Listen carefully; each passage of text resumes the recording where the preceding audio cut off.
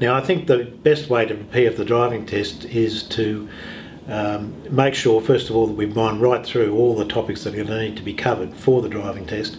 and then to make sure we do a couple of practice tests. And that means putting them right through the rigours of the actual test itself by doing a practice test and marking it exactly as a testing officer would mark it, a very tough testing officer.